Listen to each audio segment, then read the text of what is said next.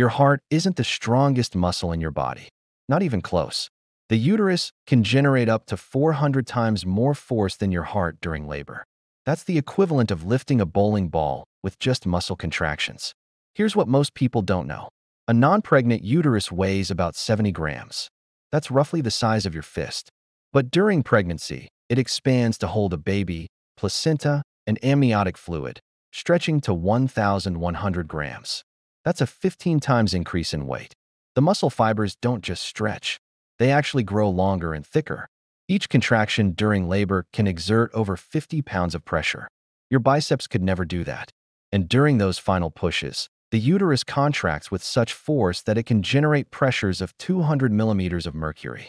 For reference, that's stronger than your blood pressure at its peak. But here's the mind-blowing part.